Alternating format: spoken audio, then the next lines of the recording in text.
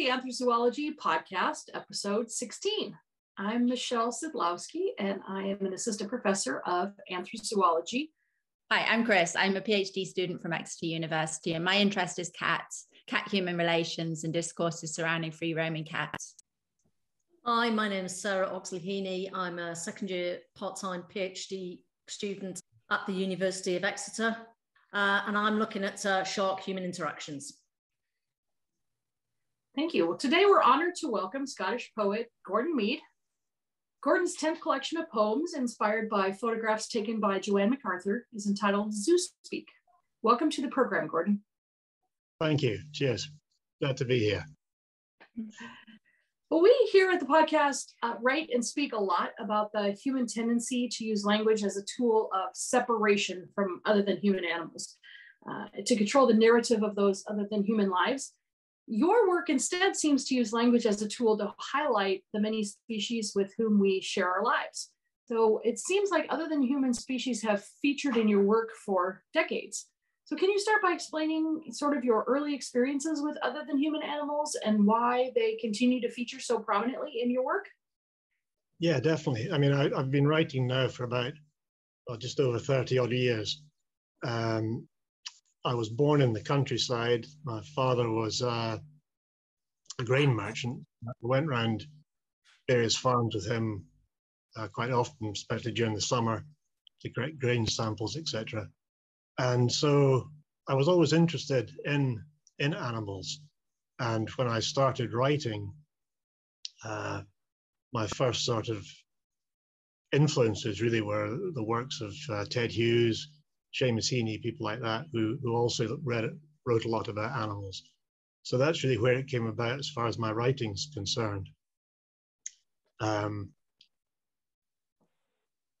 I suppose my a, a, deeper interest, if you if you like, in the actual seeing, trying to see things from animals' point of view, uh, really came from when I became aware of Jo-Anne McArthur's work, uh, which was in 2016, I think it was, I came across our first collection, We Animals.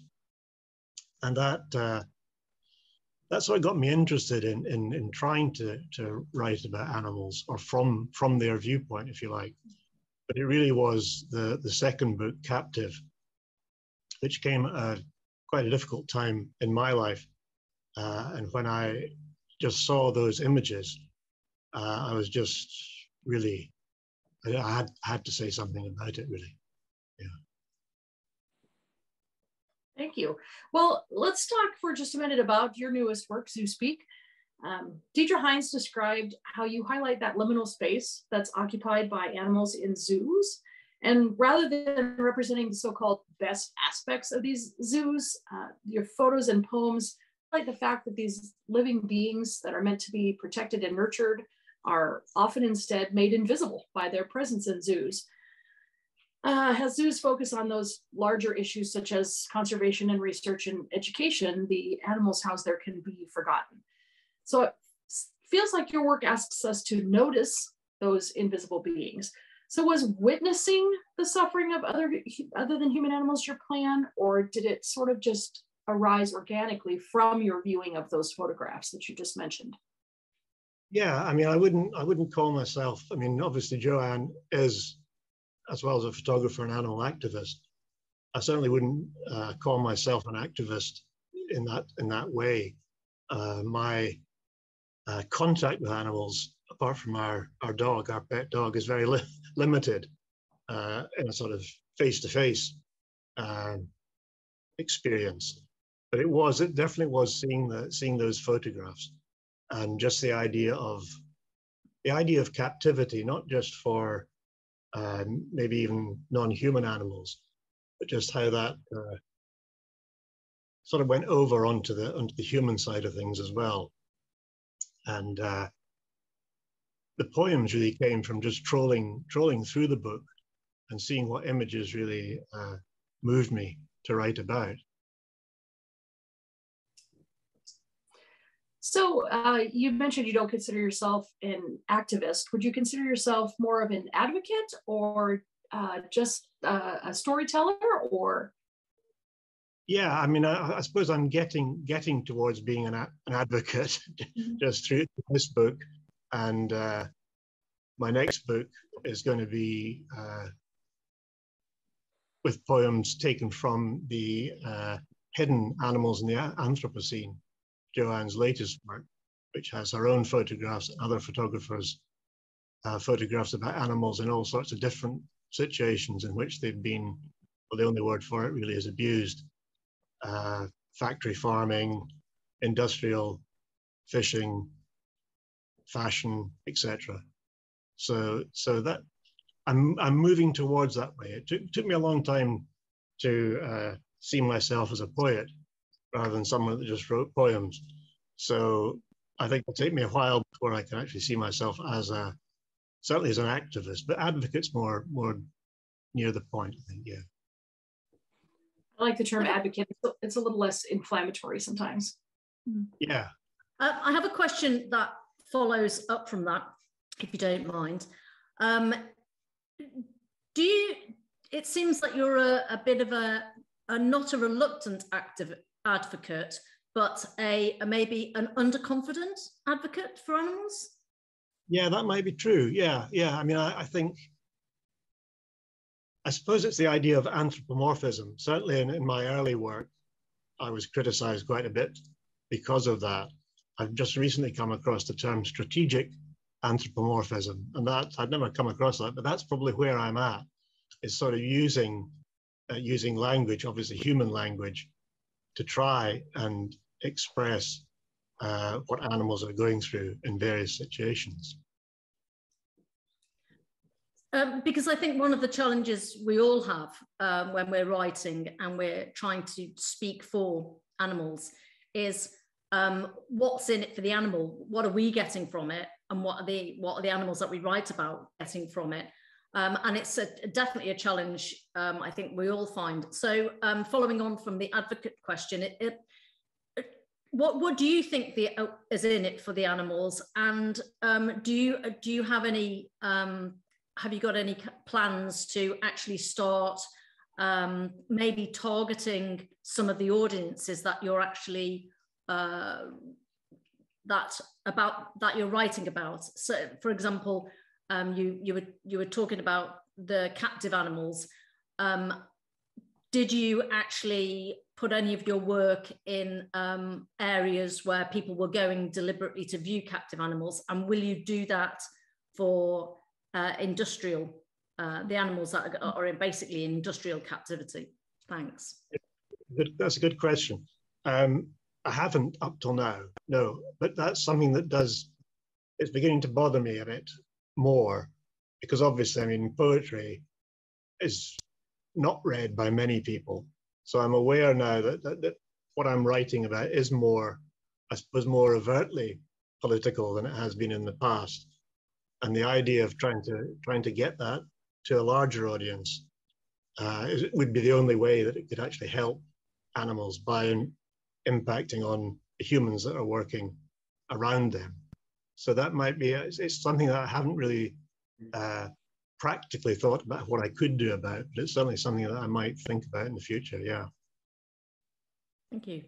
So, following on from this, this idea of um, speaking for animals or giving them a, a voice. Um, so, this is something that I struggle with in my own work, writing about cats. Is I, I want to give the cats a voice, but I, I don't want to speak for them, and I'm I'm really aware. So, I also sort of listen to how people talk about cats and some people think that a cat kept inside an apartment it's the worst torture ever and that cat's being imprisoned other people look at a cat on the street and immediately think that they're um, yeah they're suffering that they're they're uncared for um, when, when the truth is is more nuanced. So it's it's people projecting their ideas. So some people are just sticks that street cats and live miserable lives. Other people think house cats live miserable lives. And i'm trying to sort of get more of the cat's perspective and and sort of highlight that.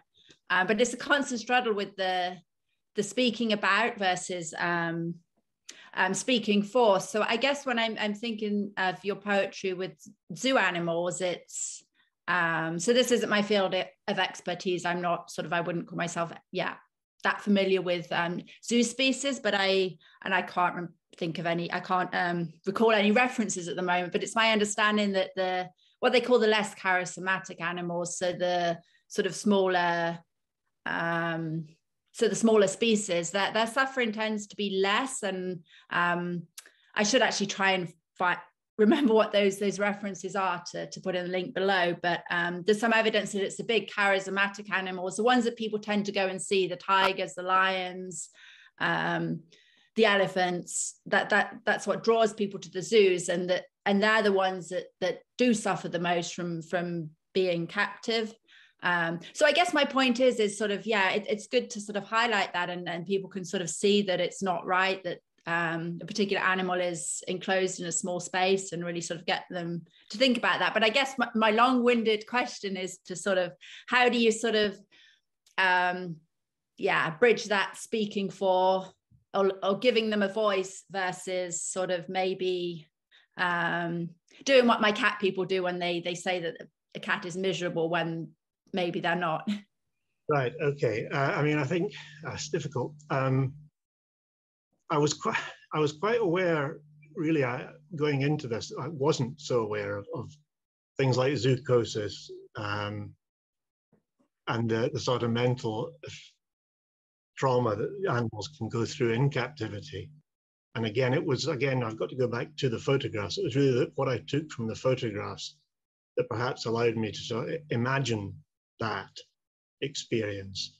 And the more I, I read a little bit around it, and the more I read, it was obvious to me that the animals that people see in zoos are not, not representative of their species in the wild. Mm. So was, this was part of the, the writing of Zeus to, to speak was to try and give voice to these animals that have been damaged in some way.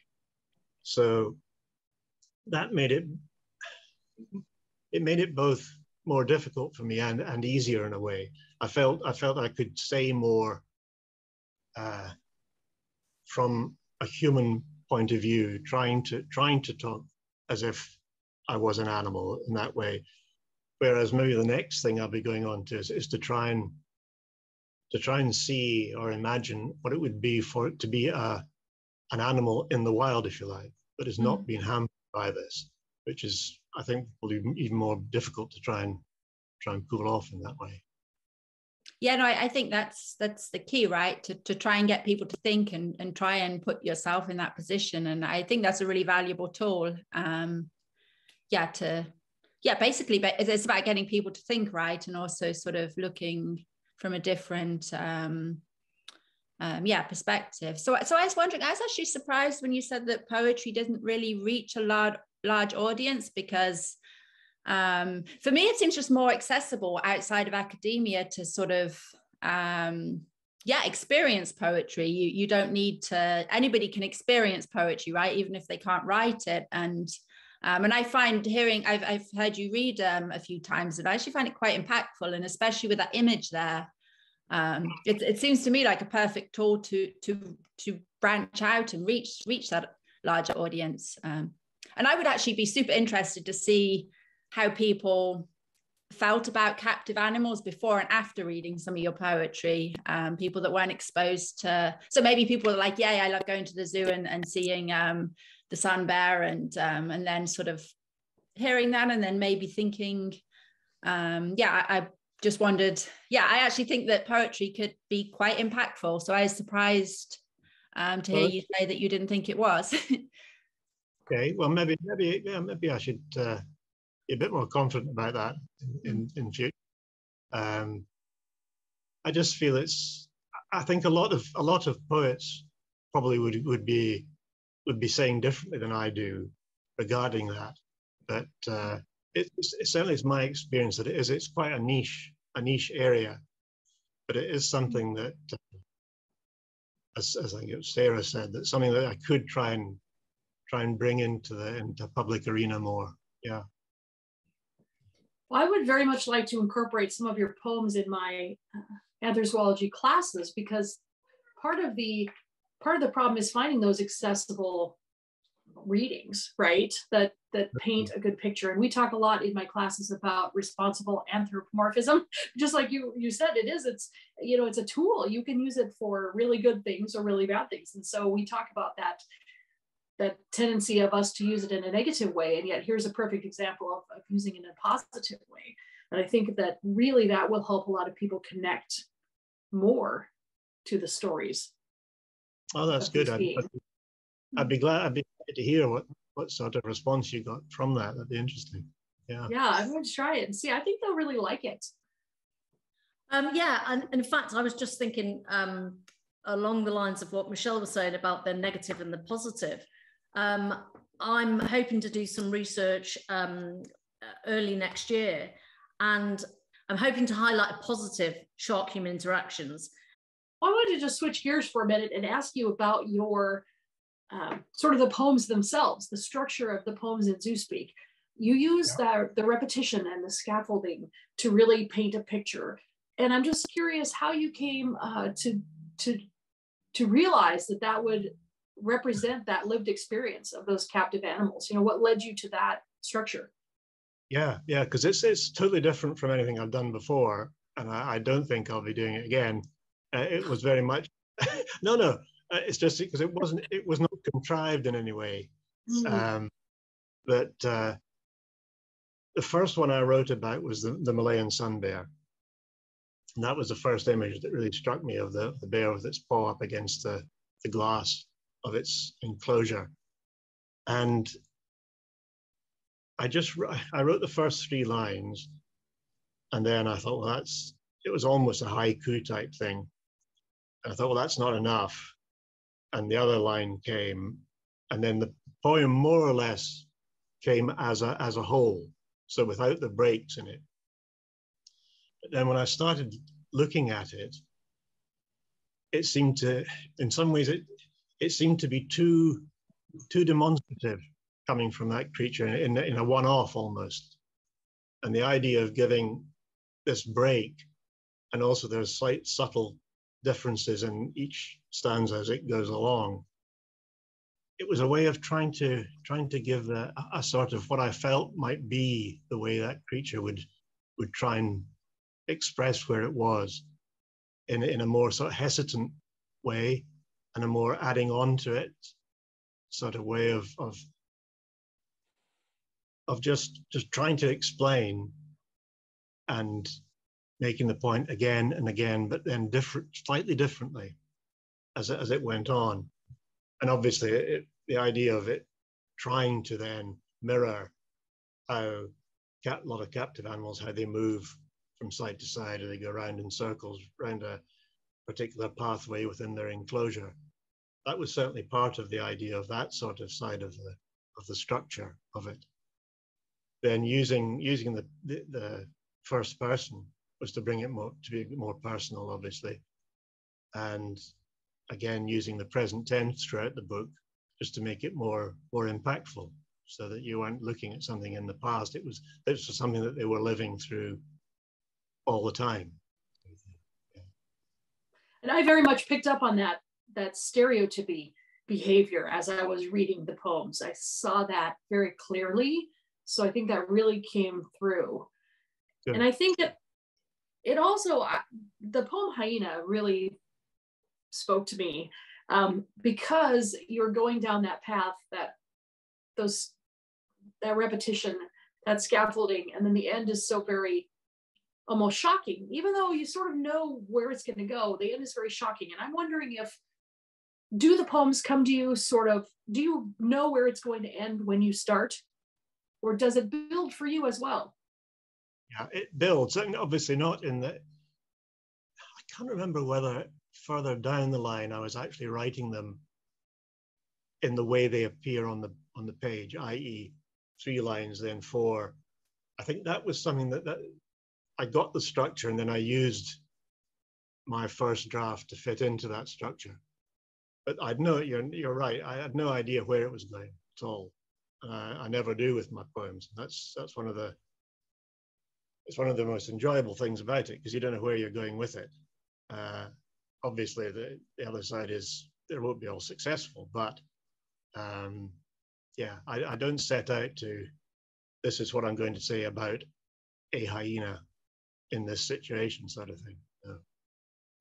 And I think it really works. Maybe that's why the ending is so surprising because you can feel that sort of sense of not knowing.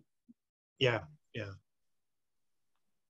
No, I think that's true. I don't know about. I think I've talked to a few other poets, and they're quite similar in that way. That uh, the ending of a the ending of a poem, if it if it if it works well, usually is a bit of a surprise uh, when you're finishing off. Yeah. I think repetition as well. It just shows, or it speaks of um, the relentlessness for these animals. Like people go into the to the to the mall in Pattaya and uh, see the sun bear, and then they've gone and they're doing their shopping. That that sun bear is still there all the time, constantly. Um, I remember seeing. Uh, I've seen um, whale shark that was uh, in a. It was in an aquarium in Dubai at one point. That's now since released. Um, that was in a shopping mall, and the the noise you, you think about the noise uh, obviously the sharks and the mantas and not mantas the sharks and the rays and the fish is still there you just think about the constant noise that these animals that have and that's relentless as well and um, it's yeah it's very well i think when i first started re- listening to because i listened to it on youtube started listening um, I was I was wondering about the repetition, and then you could just kind of feel the beat of it's the same all the time. And as you say, that's that's stereotypy. It's very um, very effective. Um, I wanted to ask you about. Um, you obviously seem very empathetic with animals, and you said that you were challenged by people um, using the word, the term anthropomorphism. Um, have you developed um, confidence and a strategy now in able to be able to uh, revoke that or refute that. I ask this because I think we've all been through this when we're first challenged with anthropomorphism. It's like, oh, hold on a minute. And then, you know, you have to think about how you're going to explain why you're yeah. speaking for animal. Yeah, I mean, I think, yeah, I mean, I don't, to be honest, I don't care anymore what people think about it. Um, and that's taken a long time, really. Um, and I think certainly writing Zoospeak, in some ways, it, it, it made me look back at my earlier work. Uh, and yeah, I mean, I just feel I feel that I've been on this on this uh, trail, and this is where I've where I, where it's led me so far, and I'm I'm I'm happy to see where it might lead lead on. Yeah, I'm, I'm curious. So, and I guess this is poetry in general. I, I feel the biggest impact when I listen to it, when it's sort of read, read in the correct way. Um, and yeah, I sort of, yeah, love your accent and hearing you, you read the poems. It sort of brings it alive more than just seeing it on a piece of paper. Uh, but that in itself is, a, is, is, is part of the poem, right? And I just wonder how you felt hearing your poetry be, being read by somebody else. So I was imagine imagining Michelle presenting it to her class and reading it out or getting the students to read it out. And and, and I'm curious if it would have, yeah, I, am just curious how you would feel about um, that, whether it would seem wrong or um, yeah, I'm curious. no, no, not at all. I mean, it's it's it's funny because once the I think you're right that uh, hearing anyone read a poem is better than just reading it off the page. It gives so much more to it. Mm-hmm. But once a poem's written, then it's it is sort of out there, and it's out there to be interpreted by other people and uh, performed, if you, if you if you like, by other people. It's interesting though that uh, I do quite a lot of readings um, and tour with a friend of mine and on one occasion in Germany, the person that was introducing us, we, we read our poems, and then he said it'd be really interesting if Gordon reads one of Desmond's poems and Desmond reads mm. one of. Yeah. And uh, both of us were sort of ooh, really aghast to begin with. uh, but it did it worked really well, and it's interesting because it does it does add something different to it, uh, depending who's reading the poem. I think it's totally valid for anyone anyone to do so. Yeah. I wanted to ask you about uh, a panther in Edinburgh Zoo. Uh, I really found that poem meaningful for sort of a strange reason. It, to me, it was very resonant of this process that we've all gone through that I think a lot of anthropologists, uh, advocates go through as they're first discovering that other species have a theory of mind, that other species have a social life, they have sentience. Um, mm. First, we feel like we need to get away from it. We need to ignore it and pretend it doesn't exist. Then we get fascinated by it.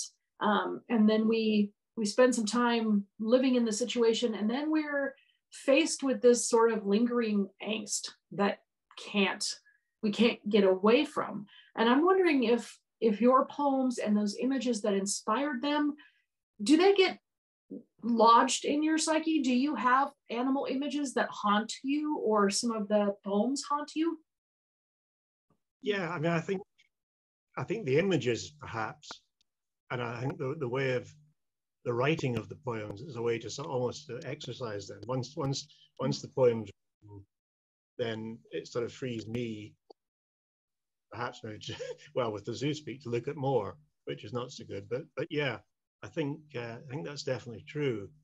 And and again, there's this. Why I didn't say I was a um, an activist is that initially my interest comes from the, from the poetry, really. So that one, The Panther in Edinburgh Zoo, was written for when Ted Hughes died. It was a, it was an in memoriam for Ted Hughes, and it also references a poem by Rilke about a, a panther he saw in zoo in, in Paris. So that's where that's where the impulse comes from, I think, or where they, they both meet the wanting to write and then finding an image or an image coming up that allows me to do that. Uh, but I do have, I do have quite a few memories from childhood that do that surface from time to time, and quite a few of them are to do with animals. Uh, so that's when where these poems come from. Yeah. So the panther at the end, um, I was reading this morning. I don't have it in front of me. Um, he he basically looks at you, doesn't he? And and and he kind of he have you have you got the ending to it there? Anybody? Well, yeah, yeah. Well, the last the last um, yeah, the last couple of lines. But nothing could touch the nothingness I had seen in its eyes, and to this day no darkness has ever matched the blackout of its bristling skin. So, so even even though you were writing the poem at that time for other reasons than the animal, it obviously unconsciously the animal has definitely spoken to your subconscious and you put it into into words. There's a hauntingness about those lines, sure. Because I do. I mean, I do it when I when I read that poem. I can I can remember so, the feelings I had then you know, just uh, the, the darkness of its particular cage where it was kept. Yeah, yeah, definitely. Yeah, definitely haunting. We're talking about talking about pictures and the poems that go with them without having the actual photographs, you know, oh. visible, which is also a little bit. It's a challenge, you know, to to represent really the the whole project without the images right there so we'll simply have to encourage people to pick up the book. Yeah, I guess. I, I, certainly felt that very strongly with with writing the poems. That uh, these particular poems did need the visual side of, of it as well, and I was just very lucky that uh, Jo liked the the poems so much to become involved in the in the project. I actually, when I was looking at Zoospeak, I was reading the poems on purpose first prior to looking at the photographs just because after looking up some of the other poems online i was very moved by them without having seen the pictures and i thought well this will be a really good way to really get this vision in, in my head and then see how it compares and I actually found it almost more shocking that way you know more moving more haunting as it were i think to to read and get the image in your mind and then be hit with the the actual image Oh, that's an interesting way to go about it. Yeah, oh, that's good. I'm glad the poems, you felt the poems stood on their own without the image in that way. I think they definitely do. I mean, I haven't been fortunate enough to see the photographs in ZooSpeak. I've seen, uh, I did a bit of um, Googling and I found the sun bear.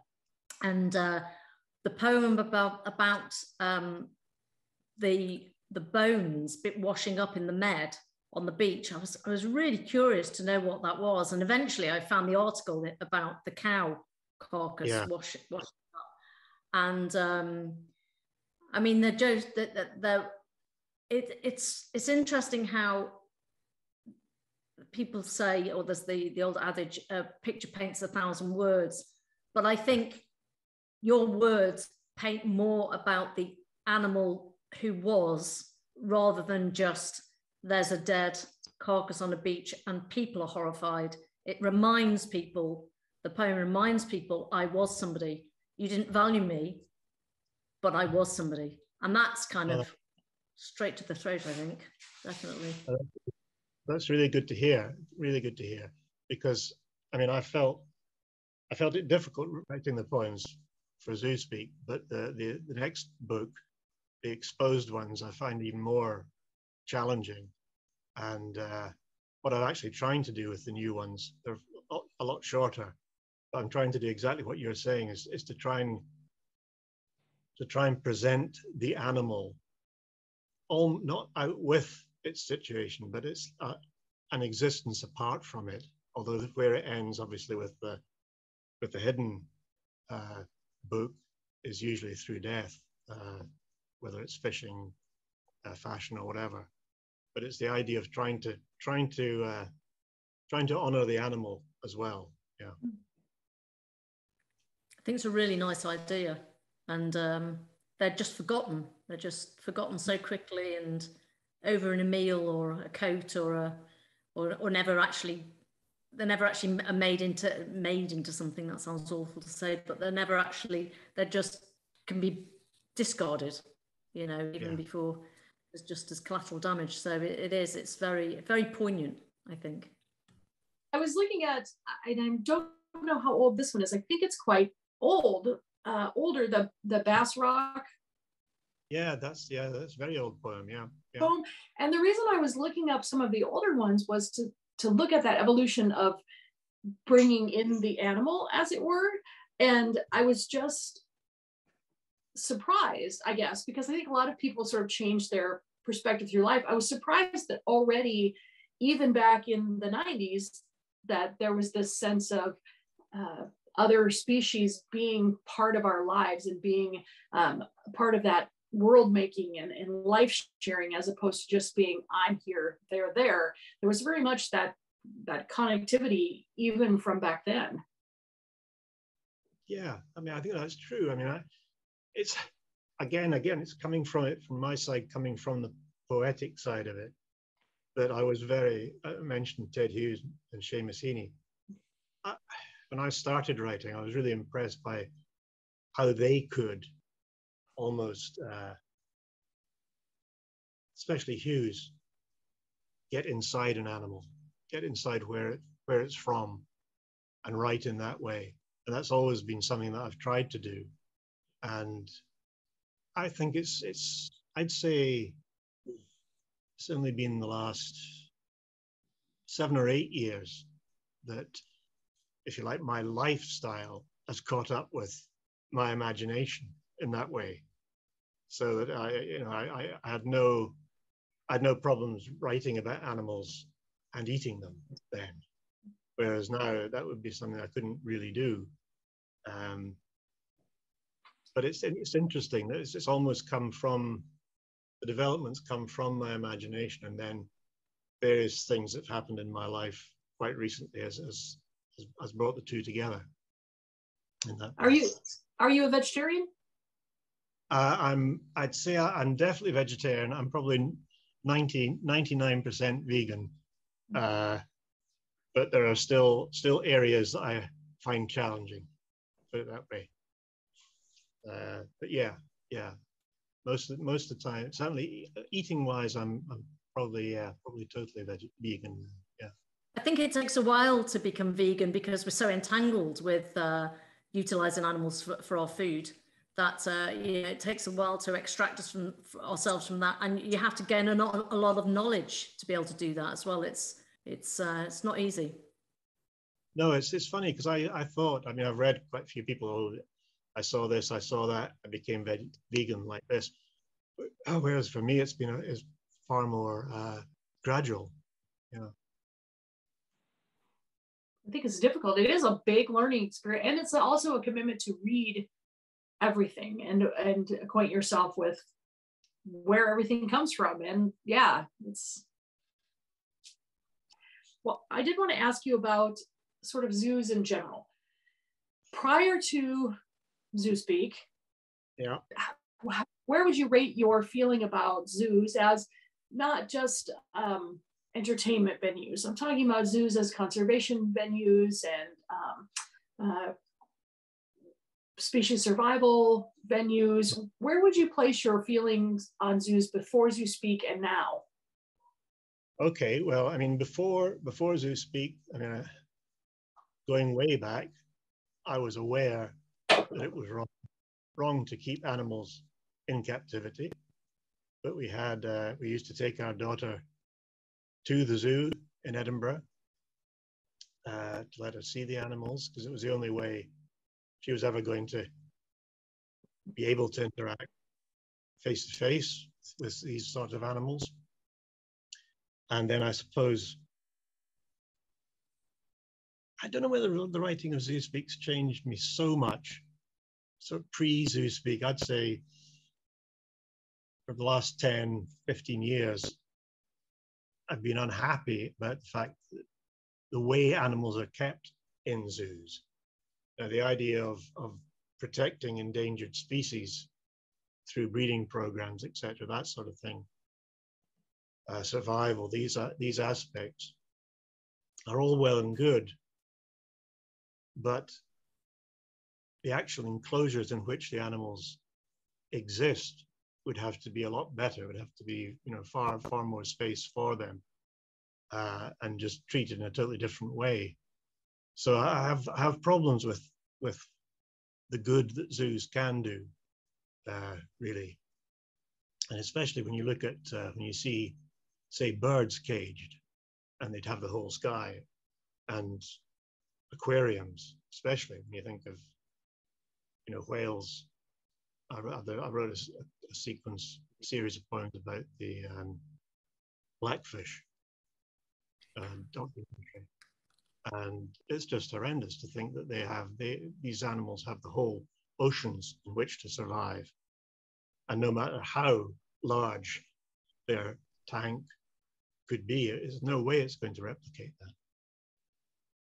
I think the sad part too is that there's no you know you can't re-release those animals. There's no there's no good end to that captivity because it is the only choice at, at this point for a lot of especially the, the animals like orcas that have to be kept in in large you know tanks. There is no other option for them. So then yes reconsidering perhaps the breeding programs and and so i don't fall into that category of being um, necessarily anti-zoo like a lot of uh, anthropologists.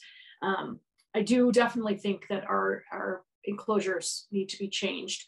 Um, I, I do accept the fact that there are some animals that should not ever be in captivity. And I think elephants are, are one of those species that should never be in captivity. Um, but it is one of those weird sort of cognitive dissonance areas where I, I understand the need for them, but I also am sort of horrified by the process of zoos, yeah. especially since moving to the American South where it's not all lovely accredited zoos that are actually working toward health and welfare of, of their animals. It's very much roadside zoos and people's backyards that that have a lot of these uh, issues.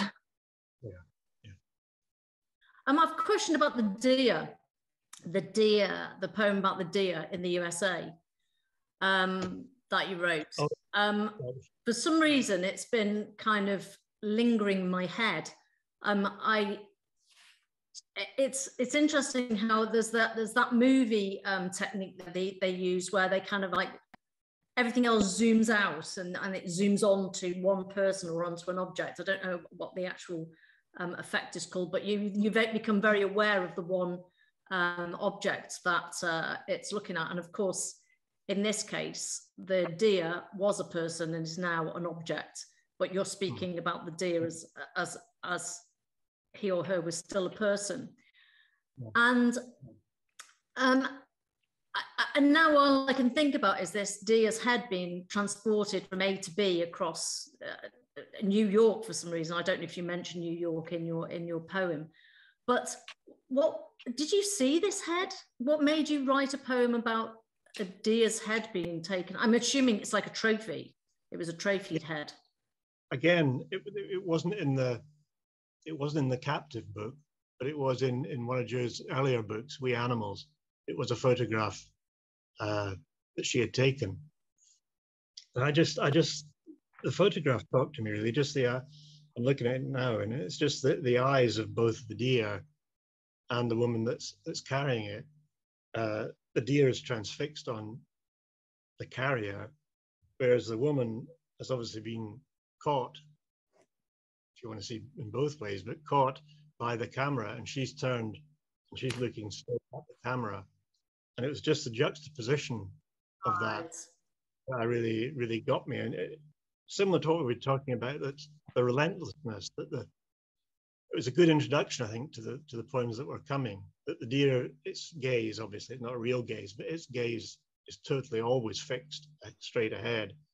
Whereas the woman has the freedom to be to be doing what she wants to do yeah yeah do, do you think a, if Sorry, go ahead. No, I just backstory to the to the photograph. Unfortunately, I've uh, forgotten in what context it was in the book, in in Jo's book. Right. Okay.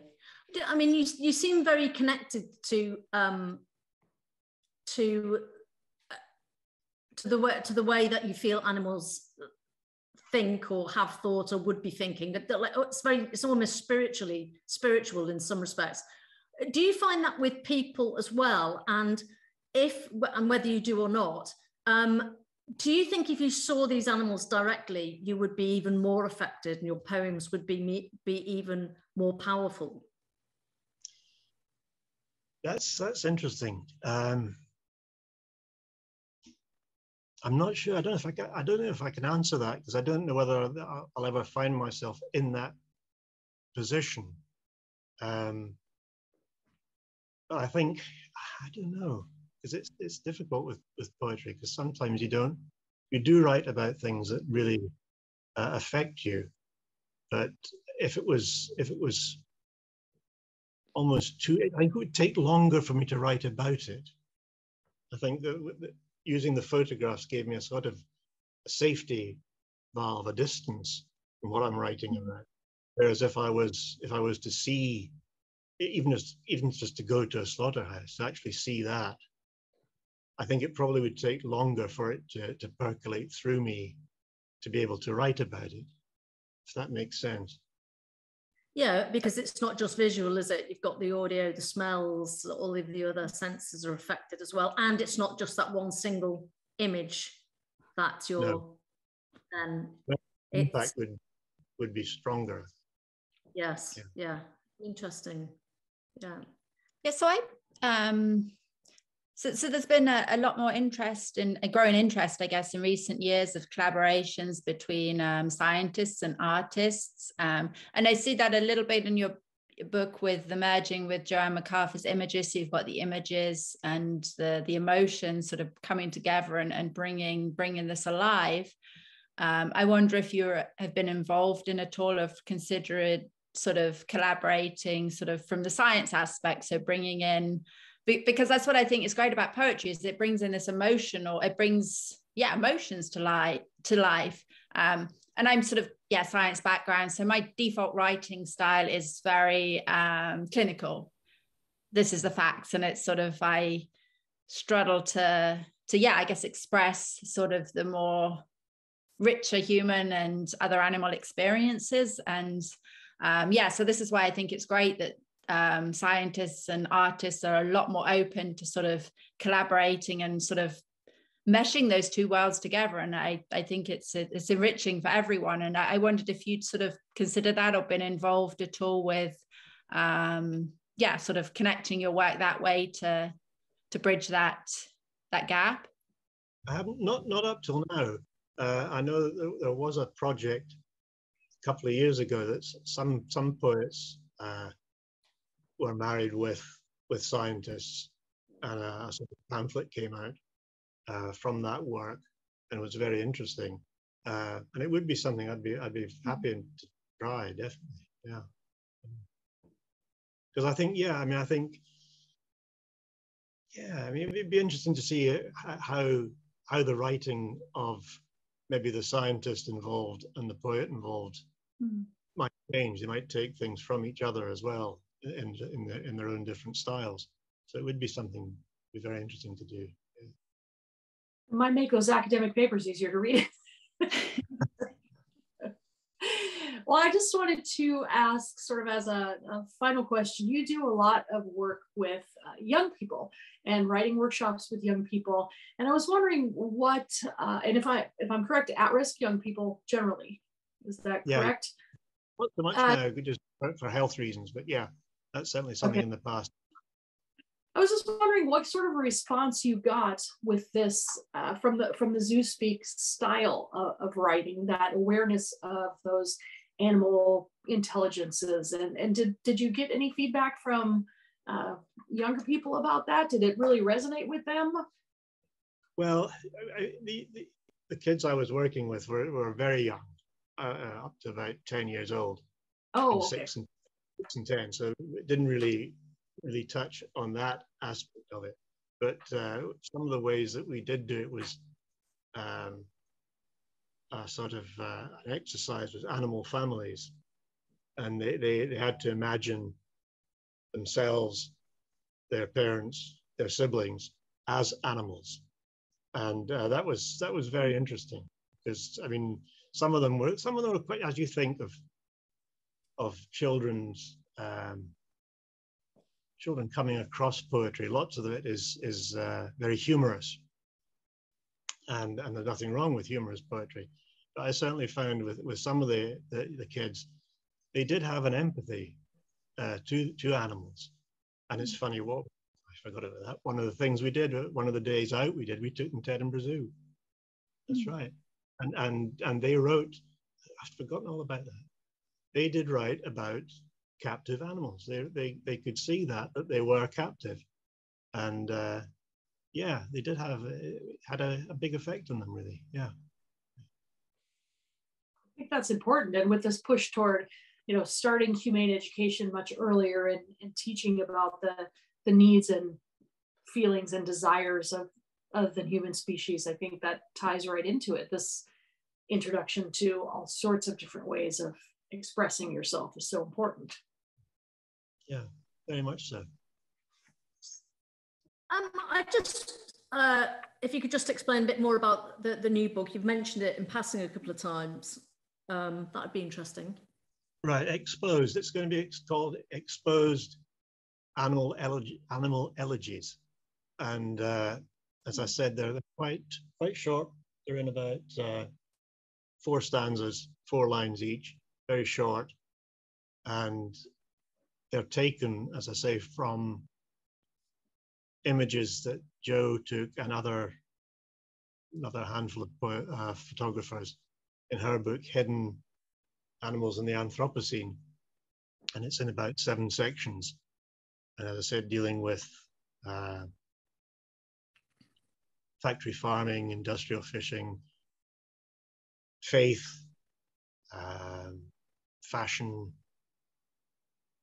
else have you got?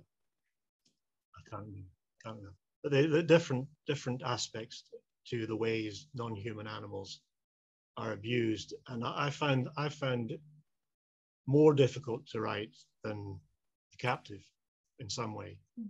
Just because with the, with the captive animals, they are captive, and it's it's a they're horrible life sentences.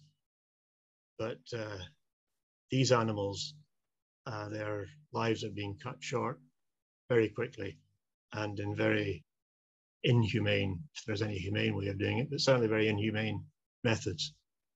So, so that is, but it, it, again, it will be similar to Zoospeak in that each each poem will have a, a visual image to which it refers. and this is going to come out in October this year. Yeah. Oh, wow. I do very much like that tying together of the image with with the poem. I think it just helps send it home for a lot of people. It just makes it more real. So no, I think it's, I think it's essential in, in this in this way I'm working with Jo's anyway.